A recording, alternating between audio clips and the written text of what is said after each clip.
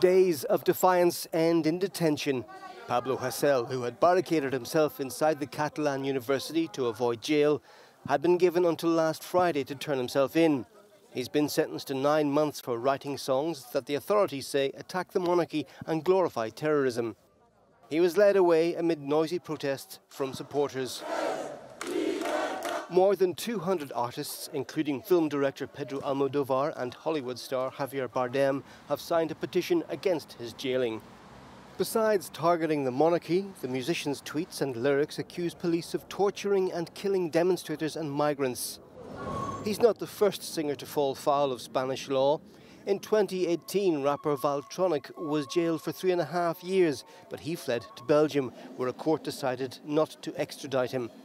The Spanish government says it's planning to reduce the penalty for so called crimes of expression in cases that involve artistic or cultural activities. Neil O'Reilly, Euronews.